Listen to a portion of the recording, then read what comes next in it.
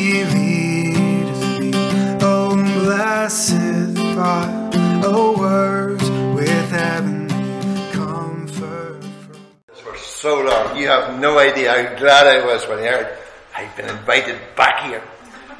And I'm just glad that Stephen sometimes has a holiday because who would choose me if you had Stephen all the time? But oh, it's just great to be here.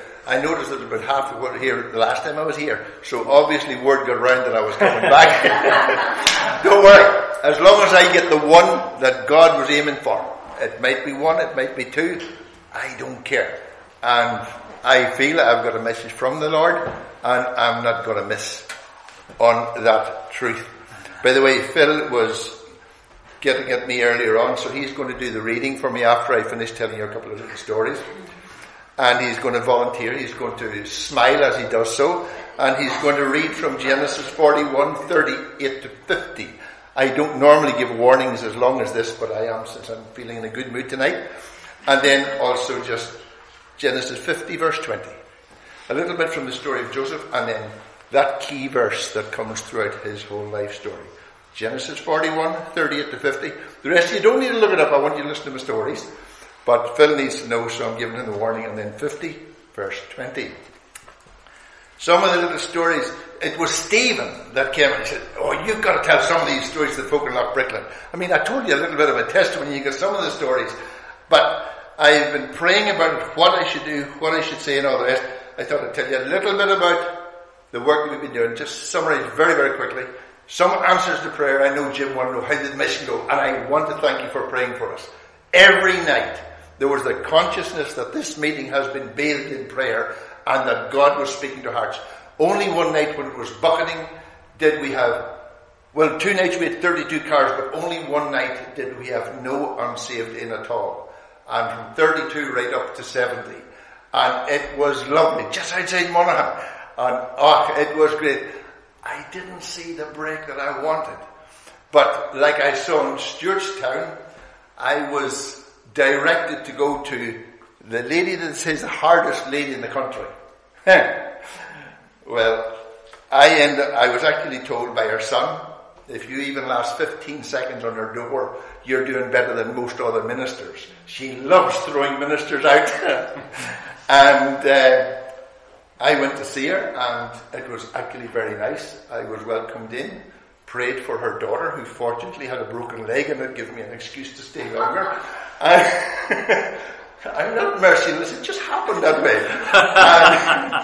then I talked to her about the mission. She needed to come and do her good knowledge. And she asked me, What do you think? You think I need saved? What makes you think that? I said, Your mouth. I am trying to be tactful, but it's hard sometimes.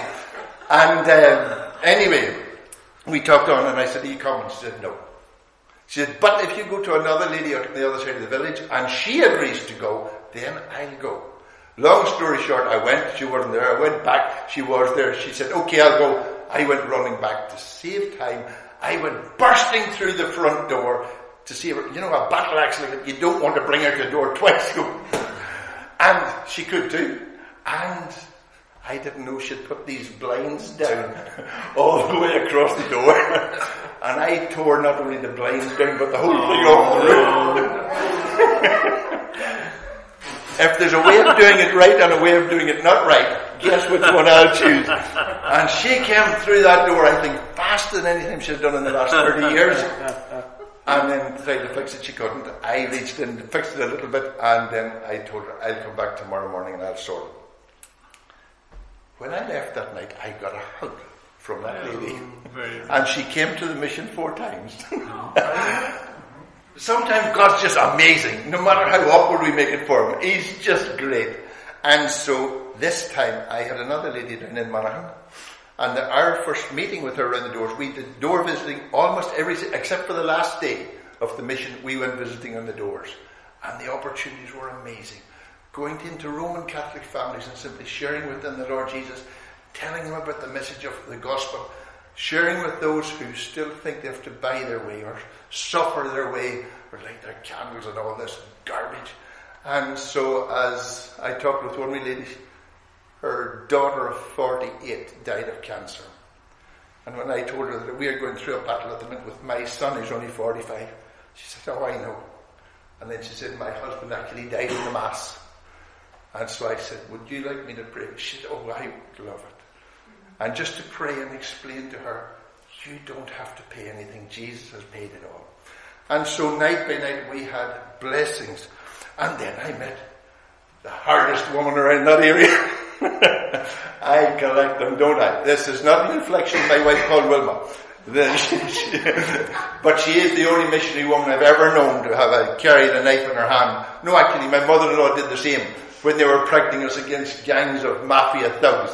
And they were not going to let anybody, if they, we went down, she, her and her mother were not going to let them into our kids and all the rest of it.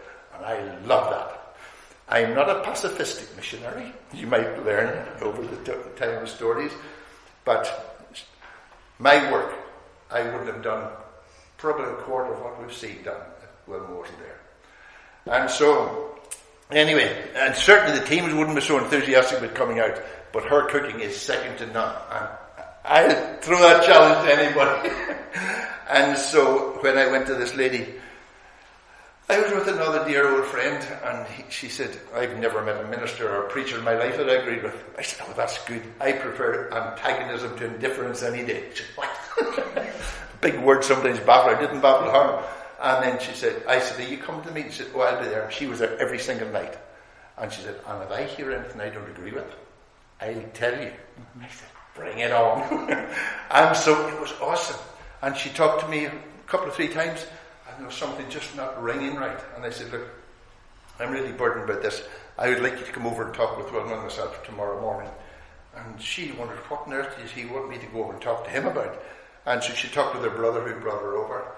And then we talked and turned out she had been up to the eyeballs and Armstrong is a, a cult that's very big over many parts of the world. And he was fleecing millions of people travelling all over the world in his big jet plane and others.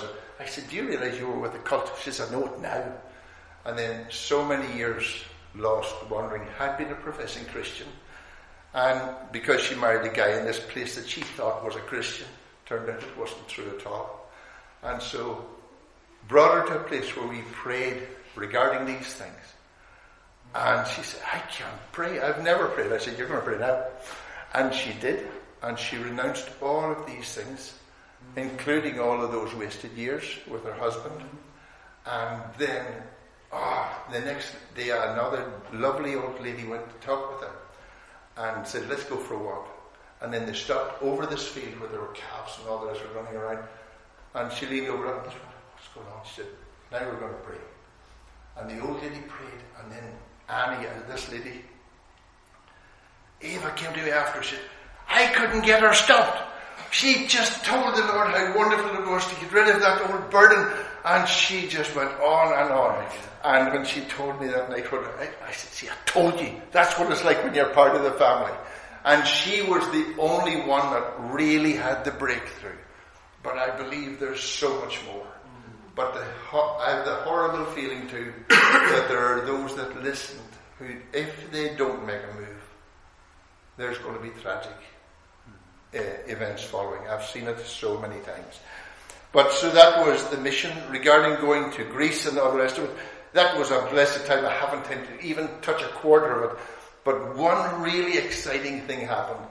I went to a meeting one night and I was just going through the door and going, change the meeting, change the message. I said, oh no, not again. I hate that. And yet, you know, you've got to do it. And so I did. And I hadn't hardly finished and this young man, nearly 40, came running up from Cyprus. He said every line of that was for me. And so we prayed together, got the situation dealt with. And I was just walking out through the door, thinking in my head, I've got a service tomorrow morning. I've got to go all the way home and then we've got to go to Berea, you know, Acts 17. I was preaching there the next morning. And this sweet girl, I've known her since she was a little tot, about nine. She used to come to my meetings and she would come to the young people's meetings, and then when the older people come, she would go in with her little friend and sit all the way through three and a half to four hours of torment. but she loved it, and she came over and said, David, I just want to know, can I pray for you? And I said, you can pray for me anytime. And she just put her hand on my shoulder, took my other hand, and she's only first year in university. And she asked the Lord to undertake for me. Thank him for the meeting tonight. Thank me for all who's been there for. And then bless him tomorrow. Help him to have a message from you. Next morning in the church. Message changed just so it was not again. And then the Lord just took over. Wilma was sitting down in the congregation. Not this Wilma, that Wilma. And uh, a lady sitting beside her, we'd never seen her in our lives before. And she was nudging Wilma going, that was for me. That was for me. That was for me. As soon as I closed the meeting up, she came running to the front of the church, crying her eyes out and fell on her knees. Give her life to the Lord Jesus Christ. She had one time followed the Lord Jesus, but church had split many years earlier. She went off and she went into dark, dark, dark ways. And this day, just back with the Lord. And for me, that was just awesome. We visited more than 530 people, and that was with my calendars because when I'm out there, the speaking voice keeps on going to them. There, we have hundreds of people that long for us every year to come and talk with them, share with them about Jesus, and give them the calendars that they can hear the truth or read the truth throughout the year. So that was great. Our mission was great. We did all the visiting down here in Mum, and I would say this the Catholic people down here are getting more ripe than they have ever been before. I had someone with me, and he was a little bit nervous. I do the same as I started church at, uh, in Stewartstown. I, which is, where's the most Republican area in this place? you start off there, and then the rest is dead easy. And this man was, sure about this? And the next day he said, can we go back there? And then the third day as well. We had a crowd one day of up to 15 people standing around us, firing questions. You'd have thought it was an open air meeting. Uh-huh. And we were there for nearly 40 minutes. And, I mean, broken toys, broken windows, broken doors, furniture all the way down the path. You can guess the kind of place it was. It was fantastic. And the openings were good. They insulted us because we were they thought like Jehovah's Witness. I had no, in no uncertain terms, I wasn't one of those boys. And then they came back again. And so they just left themselves open to a slight retaliatory comment. And I'm learning with Phil and all these boys coming out how to defend myself. Plus, I've married a Highlander. and the boy said, You don't mind it. You don't really worry about insulting a man in his own garden, do you? I said, Not a bit. Broke the ice, and the whole started gathering around us. It was amazing. Asking questions, the difference in Catholics and Protestants. What does it mean to really become a Christian? The question just went on and went on and went on. And so, I know you are praying, and we could feel it every single day, and I thank you for that. The work that we're doing in Greece very quickly for our young friend who's coming out to visit us. It was lovely to get that promise from him tonight.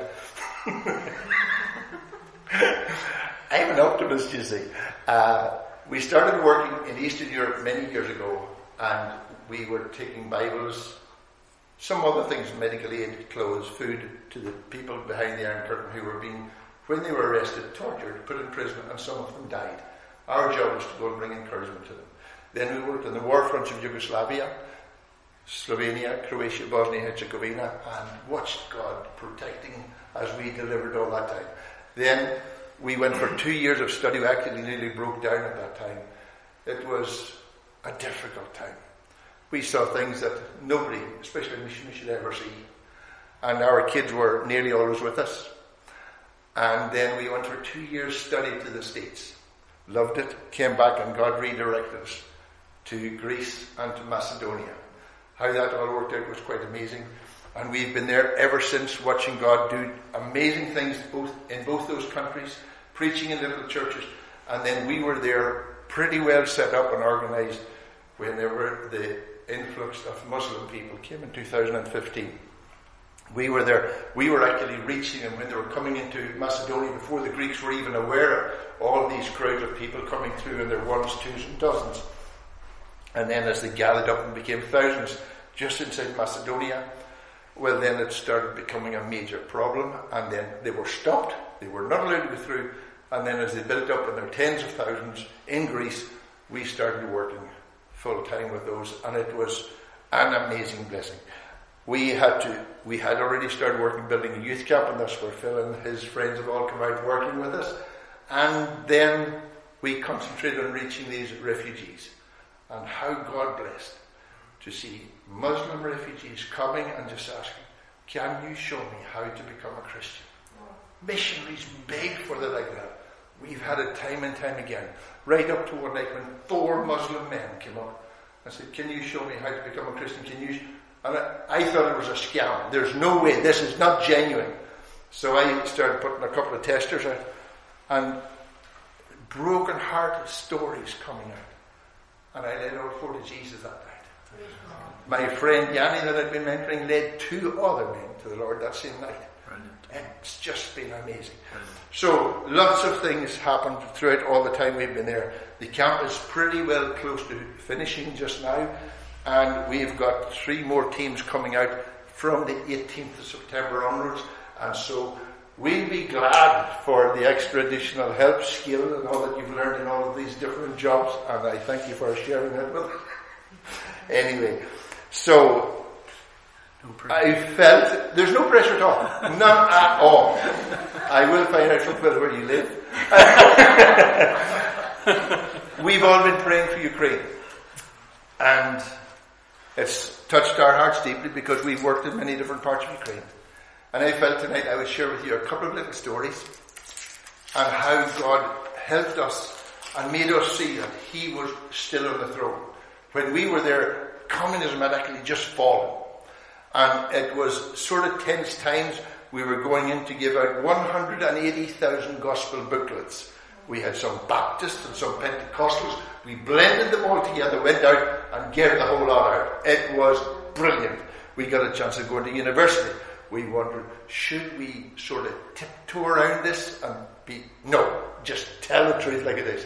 Jesus died for you and you can get saved. You can know what it is to have sins forgiven and all this stuff. Straight in, gospel story. One of the lecturers, he was so taken. The wee girls were different. They were trying to think of how they get out of Ukraine come to the West. All sorts of offers were on the market, but this lecturer came with his 16 year old son on the third night on his knees, on the ground, outside the hall. Committed, both of them committed their lives to the Lord Jesus Christ. It was, it's just brilliant. One day we went to a market, this lady suddenly materialized right in front of Wilma, and her arms going all over the place. I thought that's a wee Pentecostal or something. if she'd come to any other woman, no one had a clue what was happening. But Wilma does sign language. She understood what the lady was asking her.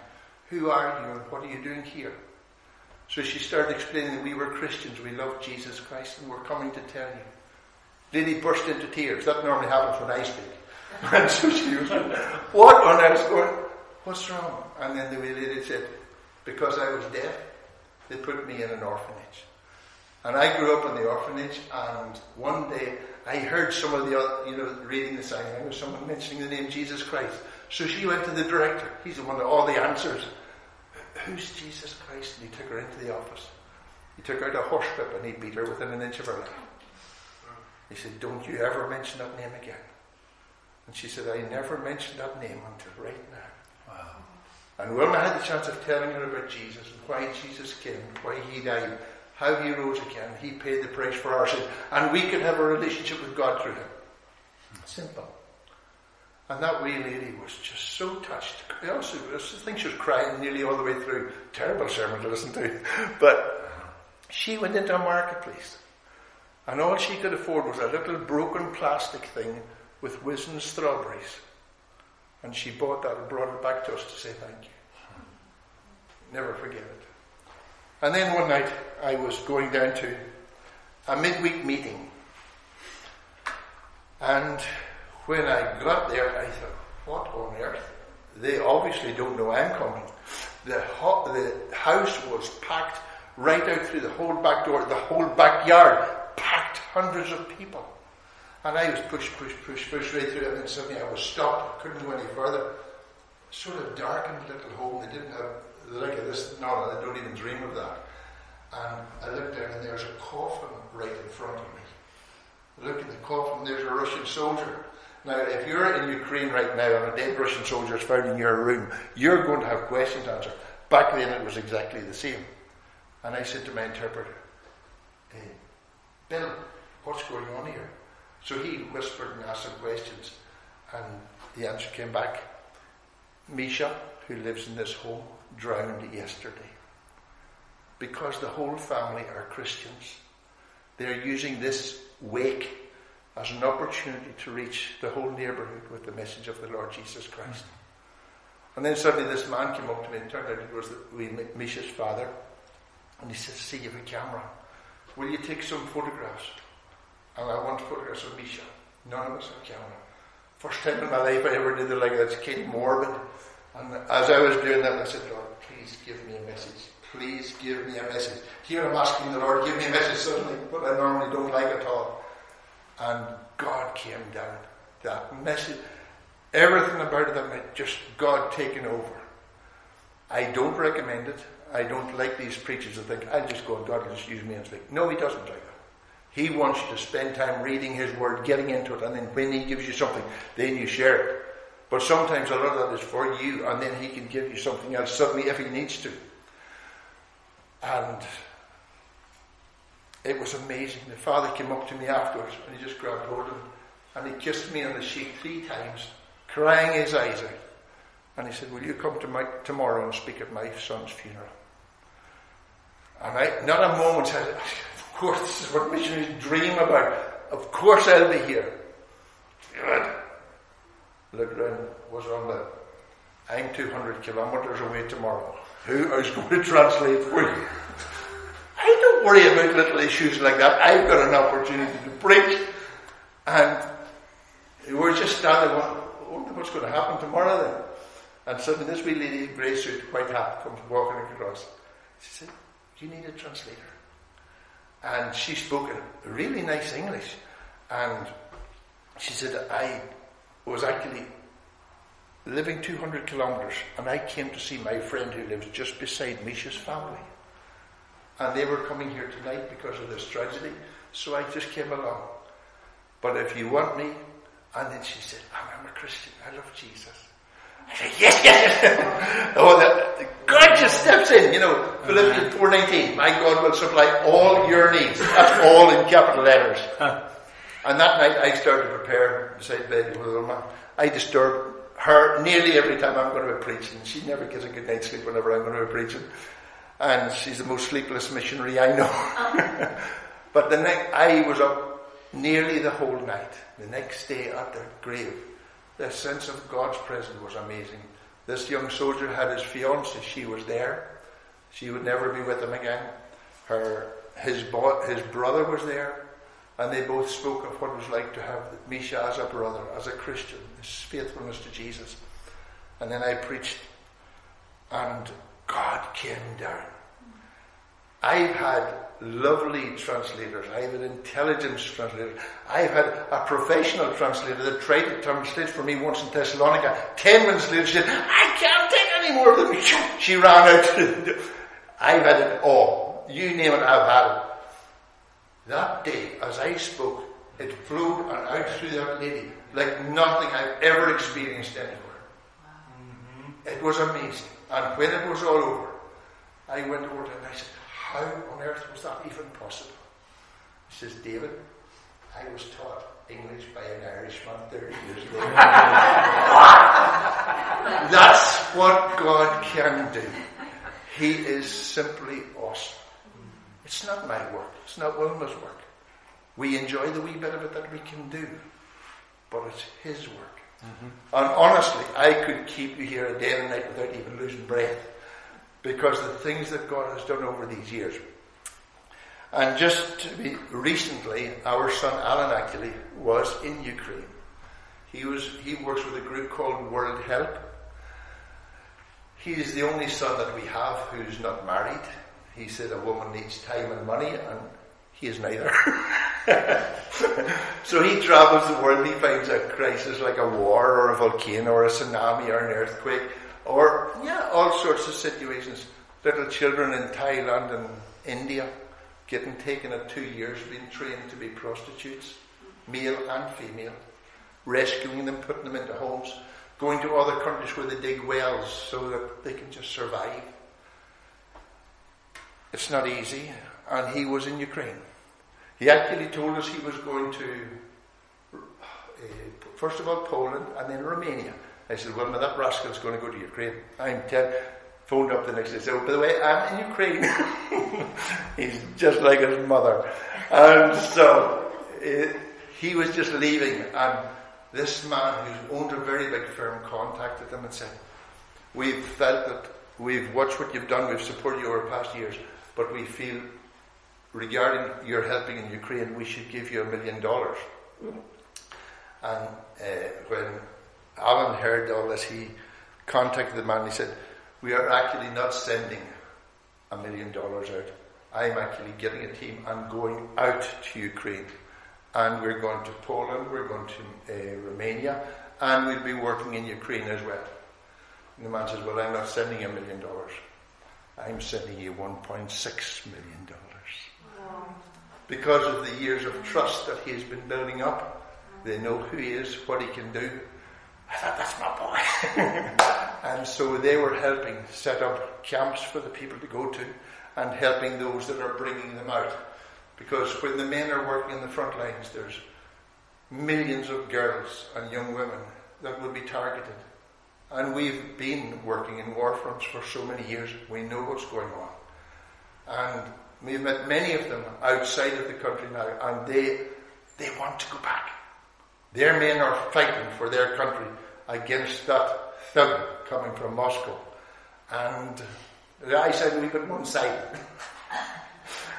well, it's we have to fight against something that's wrong. It's as simple as that.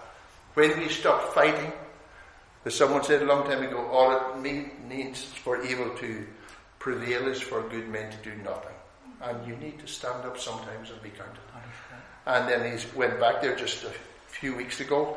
This time he wasn't in because he had brought several other people with him, and several of them were ladies. And the husband said, "Don't you dare bring my wife inside Ukraine." Okay.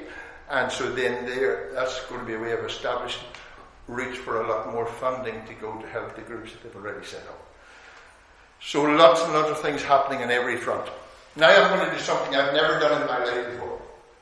I've got another lady in this congregation called Wilma. I normally take orders from a different one. But this one is going to give me a number, and based on her number, no, two numbers actually she's going to give me, I'm going to tell you another story. So I have no idea what she's going to ask. I was praying about this two nights ago and I said, That's so crazy, this has to be from the Lord. Wilma, let's go. What was the number between what and what? 1 and 70, okay. and then 1 to 9. Okay. First one, I'm going to say 69. Right to the limit. Well done. Mm-hmm. And do you want the next one?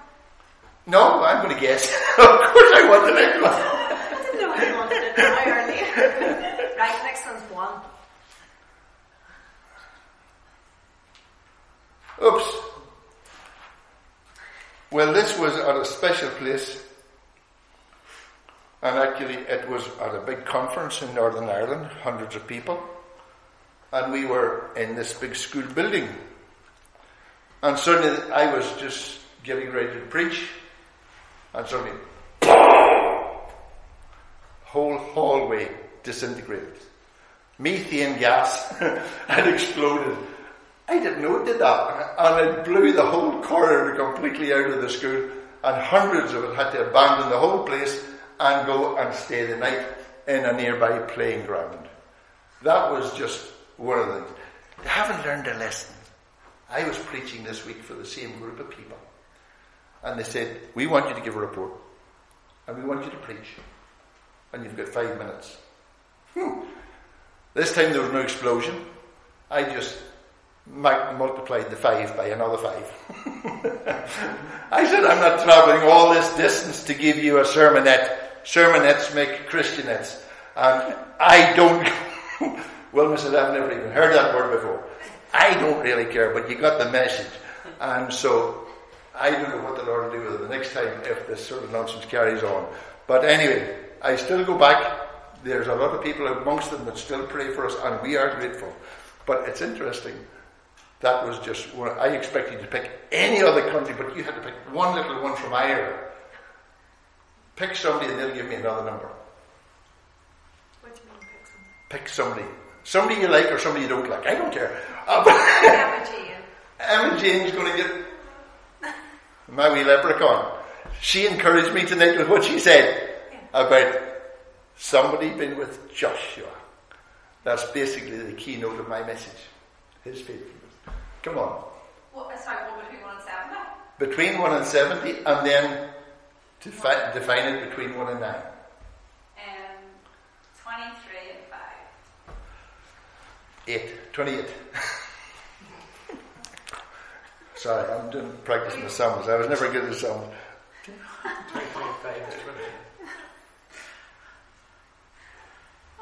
Okay?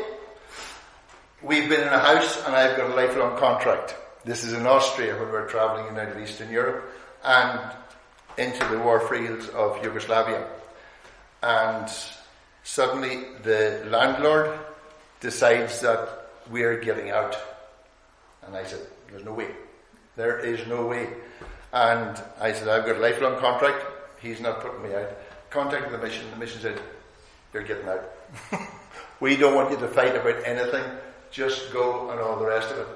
And he actually told me I should cut down loads and loads of trees in his garden. So he used that as grounds for telling the authorities, this man's cutting all the trees down in my property. I need him out. Actually, all he wanted was that his son could live in the house that we'd renovated. And so we got out, but not before I I'm not leaving without seeing him. Every time I went to his house, he was not there. He would not answer the phone, he would not do anything. And so this day I happened to be driving a different part of our village, and I saw him out walking this little doggy. And I went, he saw me, and then he, that wee dog was dragged along the school bottom, was ripped, ripped raw. And so I went up to him and I told him he was a cowardly so and so, but that I was still going to be praying for him. And we lost the house, but we got a better one. And it's just one of those things. There's something about me that if somebody tries to make me do something, sort of grit the teeth and wonder about that. But at least I got a chance of sharing with him. And wasn't my finest moment, I've got to admit. But it was one of those, it was a difficult time, especially for Wilma. We had done so much renovating and the whole house and all this. Lifelong contracts don't really mean lifelong contracts if you've got a Christian mission that believes you should do the right thing and be peaceful about it all the time. Anyway, that was what you picked. And so, I thought I could pick something and let you know just how awesome God is to us, what He's done, all this. And I thought, I'll just leave it like this. Maybe you can learn something from some of my mistakes, whatever. But I don't regret doing it that way, although I never in a million years would have dreamt that either of those two stories would have been picked. We'll leave it with God. The other message I'm going to leave, the message I'm going to leave with you is this little reading in Genesis. You ready, Phil? Yeah. What time do you normally close at? Wife? Has anybody got an urgent life or death appointment inside the next? Thank you. Love you. Jim, hold on to her. You're coming forward. Everybody else is going to stand. All over East one of the things I've always loved is when the Word of God has been read, we stand to show that we believe it is God's Word. Because if you 38. lose track of it, it's there. Genesis 41. And Pharaoh said to his servants, Can Just we hold on, verse 38 if you're following on, because what you read as well as listen, you will remember much better than what you don't. So, we don't have it up there, so let's see it And Pharaoh said to his servants, Can we find such a one as this, a man in whom is the Spirit of God? Then Pharaoh said to Joseph, Inasmuch as God has shown you all this, there is no one as discerning and wise as you. You shall be over my house, and all my people shall be ruled according to your word. Only in regard to the throne will I be greater than you. And Pharaoh said to Joseph, See, I have set you over all the land of Egypt. Then Pharaoh took his signet ring off his hand and put it on Joseph's hand, and he clothed him in garments of fine linen and put a gold chain around his neck. And when he and he had him ride in his second chariot, which he had, and they cried out before him, Bow the knee.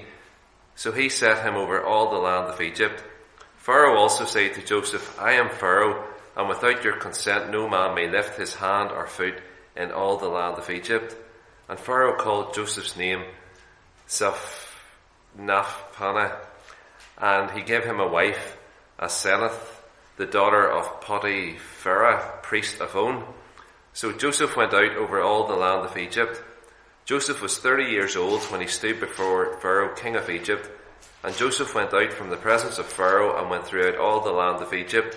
Now in the seven plentiful years the ground brought forth abundantly. So he gathered up all the food of the seven years which were in the land of Egypt and laid up the food in the cities. That'll do you enough, brother. Like to have a wee bit of mercy. And then just the one verse from uh, Genesis 15, verse 20. But as for you, you meant evil against me, but God meant it for good in order to bring it about as it is this day to save many people alive. Amen. Thank you. This little story, every time I read Joseph, it sends shivers up my spine. He's the one person I would say in the Old Testament who is so much like Jesus in the things that he's, admittedly, telling his brothers one day you lot are going to bow down. That's not really the kind of thing you do to win friends and influence people, especially if you've got big brothers. And so, apart from that little misdemeanor, and then worsening it by saying, "Oh, and mum and dad, you're going to do the same," and yeah, but we all learn quite. If you knew some of the things that I've done as an immature Christian, my wife's still waiting for me to get mature, by the way. Um, but it's exciting learning all of these different things. There's something about this young man, and I actually, do you know that we verse that said, Alas, master, for it was borrowed? That's what my theme is. It's borrowed. I read a book once by Alan Redpath, The Making of a Man of God. It's about the life of David. Incredible book, absolutely incredible. And I just thought, this here, when I look at Joseph's story, it's the making of a man of God. And right through from he was a young man in all the different things, even the little mistakes that he made, making his brothers detest him, going out, seeing what they were doing, and then clashing on them. They hated him. And the fact that there were four mothers involved in the family probably didn't make it any less dysfunctional. And so this is where he's at. But you see in looking at his story that God is working all the way through. It is an incredible story. I was trying to, I have so many sermons and so many places I've spoken on over the years, and I said, Lord, can I do? No, back to Joseph. Every single time. And although some of you ladies may think this is for Joseph, it's not Josephine. Look, this, what God does for Joseph, God can speak to you, challenge you in exactly the same way, and show you, I can take you and use you. Don't give up, no matter what you've gone through. And I mean, this man, in all the things that faced him, he could have just thrown in the towel and said, No, I've had enough. And I have talked broken-heartedly with people many times. I've been 48 years now in the ministry. And many times I've talked with people that have suffered, really suffered, and they've turned their back on God. And if they just pressed through, they could have brought themselves or got themselves into a large place with Him and watched or could have seen something amazing. But instead of that, they've been walking in cold bypath meadows, some of them in the depths of sin and depravity because they turned their back on God. There is no limits to the way we will go when we turn back from Jesus. I know I've listened to people say, no, no, no, that won't happen. We're civilized, we're relatively pleasant, reasonably educated, all. Load of garbage. I have seen them. I have listened to their stories. I've wept with them, I've prayed with them, and some of them would appall you. And, like I said again, there are no limits to how far we will go when we turn our back on Jesus. If you look at him, you'll find that God allows him to go through probably around 15 years of hardship. And then his start, life started changing around. But you can see in looking at his life, the kind of things that God allows. And that little thing that came out, out of every single one of those hymns, incidentally, is there any way that you could sort of tape some of your, we tape, you don't do it anymore, you put it on a CD or something, put some of your songs all together and send them to me. That when we are driving our hundreds and sometimes thousands of miles, I can listen to you and think of you. I was blessed in every single song tonight, and I know you can do it even better with other ones. So put some of them together, or a few of them together, send them out. And I had someone was recommending this, some person called Adele a few years ago. And I was listening to one of my Irish fellowships singing their, you know, wee songs, we old hymns. And he said, hey, can I put Adele on? After three songs, I put the other guys back. She said, ah! That, that, millions and millions of people love her. I said, that's okay, but I've had enough. I, I put the other fellowship. My son nearly fainted. He thought this is love. Anyway, that's what I love, and if you do that, I will be very, very, very grateful. Plus, I'll be thinking of some of you whenever will do. Lessons to learn that obedience will not always be immediately rewarded. That God's timing doesn't need to coincide with ours. That suffering doesn't mean that God doesn't care. Need to learn. That accusations of evil don't mean you're out of God's will. You want to list, here's some of the ones that are listed against me. It's interesting. When I'm forgotten about, it doesn't mean that God has a faulty memory. God does work in the affairs of men. I said that he's one of the people of Scripture who most resembles Jesus. If you look at some of the things that say about he was hated. If any of you have any interest in some of these texts, I can give you but you can find them in your own concordance. He was ridiculed. He was plotted against. He was stripped of his robe. He was sold for silver. He was taken to Egypt. He was lied about. And he was placed in captivity between two guilty men. And he was unrecognized by his own. Just, that's just at a glance. There's many other things as well. He's just an amazing little study. His biography is the kind of thing that filmmakers dream about. You look at him, the prejudice at the beginning, the pit, the prison, the palace.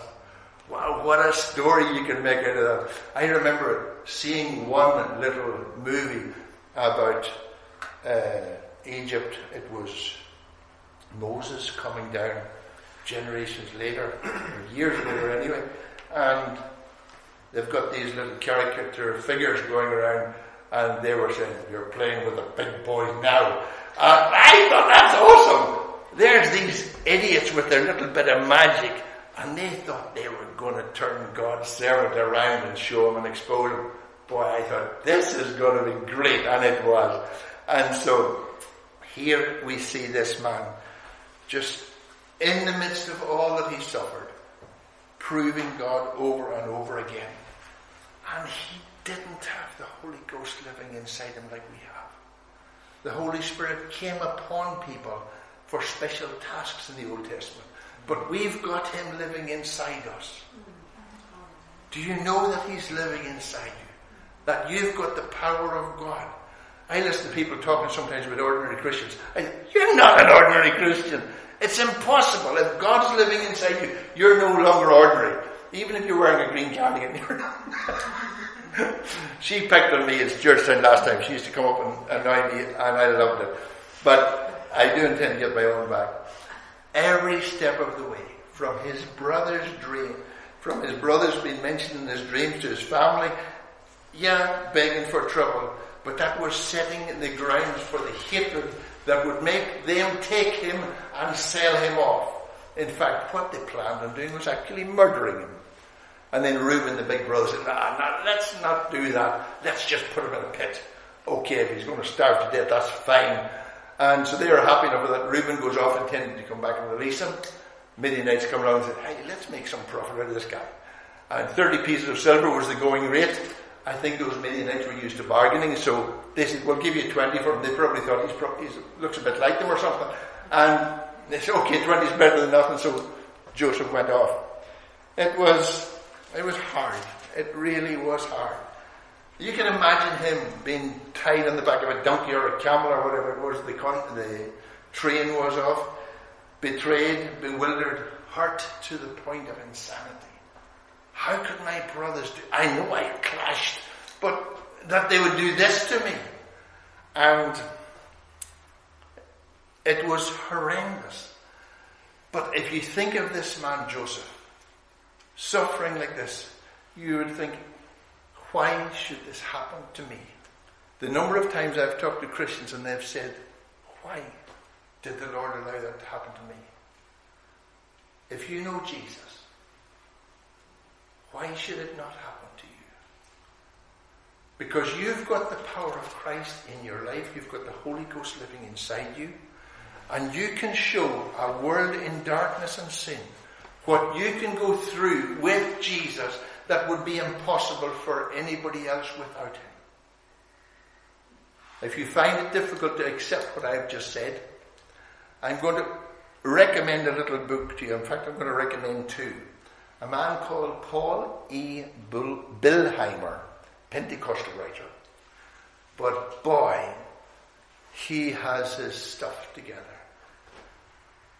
He talks about suffering in the lives of the believers and how God allows it because He's training us not just for the 70 years that we might live or whatever few hour years extra, but He's preparing us for eternity.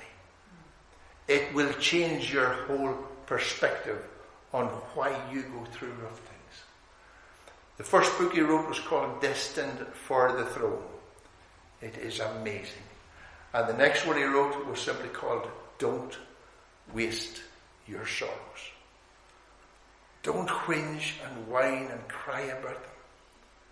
Go through, help others that are going through the same thing, and let them see what you can accomplish with Jesus, even when your heart is breaking. We've had a difficult time when the over this last few months with our son Brian, only 45, going through cancer. Having the operation at least there's no cancer. Didn't even take lymph nodes to check it. And four days later, the prognosis came back. That it was the worst kind of cancer that he could have. And telling us that maybe another operation would have to be done, and then on and on. And every time we took a step forward, we went a step back again. And that wee boy that prayed for my mum when he was three and a half, and God healed her just like that. When he was 16, he came with a baseball bat to protect his daddy, who was against 14 mafia thugs with their baseball bats. And he jumped in the middle of it. He was going to protect his daddy. When it came to protecting little girls in school or his brothers, he was always there. He has been amazing. When he was 11, he pointed his little five year old brother to the Lord Jesus Christ. And these memories just pour through you when you think our son. And then he starts making progress. The chemo comes, these several days of agony every two weeks. And that's not easy. I'm a bad father in that I feel all the time. I wish it was me, but he said, Dad, you couldn't take this. You're just an old guy now. But, and I know what he means. But the thing is, not once in all of these months has he had one drop of nausea. He says, I can take the pain, but I couldn't take the nausea. And thank everybody you know that's praying for me. So I'm thanking you in his name. And he was supposed to come over this week to us with his seven kids. His wife left him some years ago. She turned her back on Jesus and she wanted a bit more fun in life. It's been difficult, and now these years later, he's going this way, and it's not easy. He still loves her, with all of his heart. And last Tuesday, two weeks ago, it turned out his white blood went right down, and they said, You're not going to Ireland, you're staying. And he was, well, not only disappointed, he was actually angry. Uh, two weeks earlier, oh, you can definitely go to Ireland, this is great, and all the rest. Suddenly he's not going. Last Tuesday, two weeks ago, it was hard for me. It was really difficult. Wilma said, we're trusting, we're trusting, we've taken it to the Lord. By the next morning, I was back on my feet again. It was okay. The Lord understands when you have a hard time. He doesn't want you to go around with a real stupid grin on your face all the time because then people, people think you're mental. But sometimes it's hard. He's had a few days off with his kids and he's back home now. And he's getting ready for the next dose of chemo this Tuesday. two days, every two weeks, for six months. And he's almost at the halfway mark. They've already told him this one coming will probably be the worst one that he's ever gone through. I'm still shuddering for it. I know God's with him. He's helping him. His old boss is going through exactly the same cancer. And Brian had tried to witness to him and just couldn't get anywhere. And then he started coming with Brian to church. Now, this man has gone all over the States and now he's living within a mile of my son. This is God's work. And he said, But Brian, I'm too evil. There's no way that God could ever save me. And Brian's getting through to him because they're fighting the same thing. Only this man has been told, all we can do is make you comfortable. We can't stop this thing. So Brian is desperately trying to reach him before it's too late. Whenever the, bo- the boys had sold their brother off, they came back with a blood soaked coat. Reminded me of the first coat that my wife had been sent her, a lovely, lovely fur coat. First time she wore it, I watched this missionary wife going down in her fur coat, swaying others. That night, someone was hit by the train that she was travelling into learn Hungarian. When she tried to stop the bleeding, she was the only with medical expertise on the, on the train. She put her coat around that poor man. It was so soaked with blood, it was never fit to be cleaned again. And so, but he, they brought this little coat back to their father and said, Is this your son's coat? Not, is this our brother's coat? No. Is this your son's coat? Broke his heart. Whenever you've got these kind of thoughts of bitterness and anger and hatred against other people, you will not care who, who gets hurt. And you can see this in their reaction to their father. They just wanted rid of a problem. Hatred always brings casualties. I know I have hated, even as a Christian, even as a missionary. I have let the Lord down. I have went after a preacher once. I put gloves on and I was going to beat the tar out of him. I'm not a nice person sometimes. and he lied to me. He lied. But I took his word. 25 years later, a man told me that he was with him in the meetings that he was holding at that time. He said halfway through that meeting, the Holy Spirit left us. And in all these years, he's never come back. If that man had taken a beating tonight, that night and told the truth, maybe he would have been in a better place. Maybe he wouldn't have got a beating at all. But these are solemn things. It is a solemn thing to play around with God and then to lie and cover it. I believe that with all my heart. And the people that God brought into his life were amazing. Some of them were positive, some of them were negative. One of them was Potiphar who bought him. And in no time at all, because God was with him, he was given the rule of his whole house. Then there's a pretty grubby story where Potiphar's lonely wife, bored out of her eyeballs, ah, look at that good looking young fella in my house. She had all her plans made out. Joseph wasn't interested. He didn't play ball because no matter what, not only that he was the boss's wife, no matter what was going on, God was always going to be watching. The day came whenever she actually attacked him, grabbed him. Who's going to believe it? It was a slave that actually perpet, you know, perpetrated the whole deed. No. I think in some ways though, when she came to her husband with his coat said, he tried to rape me. That slave you brought into my house. Normally he would have got, that been finished. No way would he have got off with that. But no, he was set in prison. Sometimes there's just a little ring of untruth that leaves you feeling, uh, don't really swallow this one. And so when he was in prison, again, what was the key word that came with him? The Lord was with Joseph. And in no time at all, he's in charge. And then along comes, I'm skipping through this too, too quickly, but these two men came in. They were relatively important, a butler and a baker. And they were from Pharaoh's palace. And as they talk with Joseph, as they're talking with each other, Joseph sees there's something around their down. And he starts to talk with them. And then they explain, well, we're under sentence of death. He thinks that we're plotting to kill him. And he says, Butler, you're going to be okay. He's going to reinstate you. You job. Sometimes when you're working for God, you have to say loving things, encouraging things, uplifting things to people. Sometimes you have to be hard and brutal with the truth when you know what God wants you to say. You need honesty and you need courage.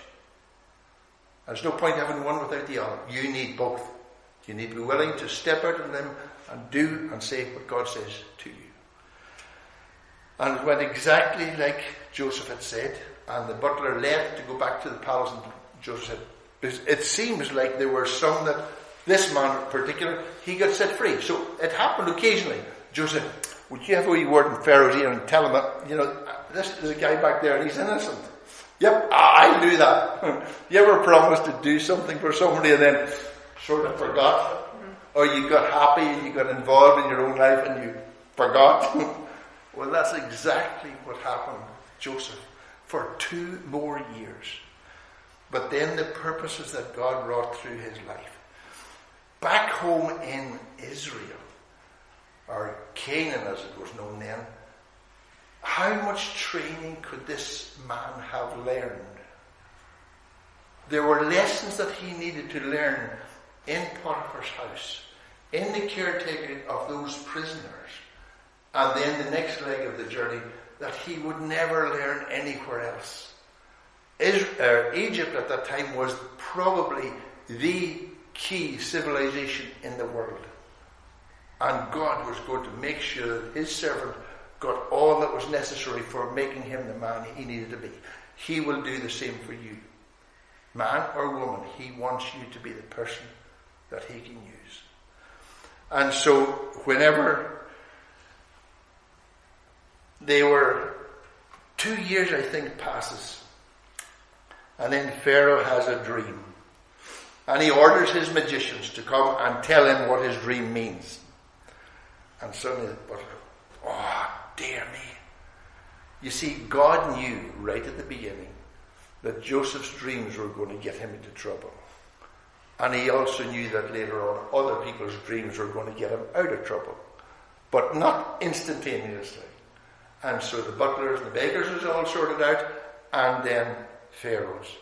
And he turns to Pharaoh who's carrying the wine, obviously someone in a position of trust to make sure there wasn't poison and all this. And he said, I remember I made a promise two years ago. There's this guy in prison and he can interpret dreams. Bring him here. Pharaoh wasn't hanging around. He wanted to know what his dream, his dream, dream meant. And so Joseph, going through Potiphar's house, landing in prison, learning all these lessons, is suddenly brought into the presence of Pharaoh. He explains to Pharaoh what the dream means. And then he suggests if you get a certain kind of a man, let him have the responsibility of this, this, this, this, and make sure that you're prepared for the seven years of famine that are coming. You're going to have seven years of good. And Pharaoh thought, where am I going to get a man who's dependable? Right, got the job. And there you see Joseph is taken from the pit to the prison to the palace. Just like that. We've got all our ideas what God's going to do, how He's going to do. What He has done with me, through me, the places He's brought me, I would never in a million years have guessed that. And yet, in some of the most backward places, dangerous places, unbelievable events, God has shown me He's still in control. Now, you've only got a quarter of my, my message, but The rest of it about the brothers coming and Joseph testing them and all the rest of it. You don't need that. What you need to know is that the Lord was with Joseph. What you're bound to know is that He has promised you, I will never leave you. He won't ever leave you. God bless. And I've got one story. It's not about us. It's about a missionary. I read it some time back. And it spoke to my heart. A man called David and his wife stayed. And as soon as I finish this, you're free to go. Or you can sing or you can stay all night. There's no problem. And I'm not in a hurry either or both. They came down from Sweden. They were called by God to go to the Belgian Congo. They came down with a family called the Ericsons. And when they eventually got through their language study, came to the Congo and were heading to the village that they were going to be working in, the village chief said, Ah, you're not coming into our village. Made them stay up the road about half a mile outside the village. No contact. Wasn't allowed. One little boy was allowed to go each day and bring them milk and eggs. And so he, David was, oh, this is awful. We came here to mission and we can't. Svea said, there's only one of them allowed to contact us. We need to see him saved. And the years passed. Svea became pregnant. Little child came. Svea lived 17 days after the baby was born. As David was digging the grave for his wife, something snapped. He turned around and he gave his little daughter away to the Ericsons. And he went home, blaming God for everything. The Ericsons, both of them lived eight months and died. Another family took that little girl. They changed her name to Aggie. They looked after her for three years and then brought her home to America. Years passed, and this little girl doesn't know much about where she came from, much about it at all. She grows up, she actually goes to Bible school. In Bible school, she meets a friend, get married, they have two kids. Years passed, and one day, by accident, I love that wee word, by accident, a Swedish magazine is dropped through her door. She can't read Swedish. She's basically an American child now. But as she opens it up, she sees a headstone. And there's a name called Svea Flood, the name of her mother. And she said, What's going on? And she finds a place where there are a number of Swedish people. And she goes and says, What's this saying? It's all in Swedish, I don't understand, but I know this name. Have any of you heard this story? You have. You want to come up and tell it? and so they listen. Or she explains, these people explain that this is a missionary lady who went out from Sweden and she led one person to the Lord. This one person grew up, got an education, came back to the village and built a school. At that school, he led every child to the Lord, and they in turn led mums and dads, brought them all to school, and every member of the family, every member of the village, over 600 of them, became Christians. And so she was absolutely ecstatic. And they made inquiries and discovered that her daddy had gone back to Sweden. He was still alive. The church said, Would you like to go and see your daddy? She said, I would love to. She went back to find her daddy. And this man, he was actually an absolute rogue. He was a drunk. He was a derelict. He had remarried. He had four kids. The one command he had in his house don't ever mention the name of God. Not in my house. Bitterness was still pounding of him. And his daughter came to the door. And at the start, he was very, very unhappy to see her. And she said, Dad, it wasn't wasted. and told the story of how this one boy had been able to win the whole village for Jesus. That's what you went there to do, and it's happened.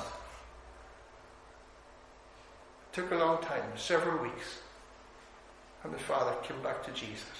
Mm. And it was awesome. And just shortly after that, he went out into eternity. It wasn't wasted. But yet, only for that little time was he actually actively serving. His wife was already all these years in glory. But that little girl could tell him, it, God has blessed your work. And then years later, she was invited to a conference in London. A man was preaching. There were more than 100,000 baptized believers in his church group all over the country. Do you know who that man was? It was that little boy that Svea had led to the Lord all those years earlier. And when they found out who she was, she went, she was paid by the church to go there. When they found out that this was Svea's daughter, they said, You've got to come and see what happened because of your mum. Mm. And she was taken around all of those homes, carried on the shoulders of men from village to village to village because of her mommy. And she was loved where they couldn't love the mummy anymore. There's nothing wasted. God was with Joseph. God was with Svein. God's with you. Your reputation in many places of Northern Ireland is amazing. You're known as a people who pray, a people who love, and a people who care. And we felt that from Stewartstown last year, specifically now with our son, the mission in Moran, so many times. I thank you. But this is only a wee bit of it. There's so much more. Thanks for having us here tonight. Jim, would you close in a word of prayer? Or are you having another song? Okay.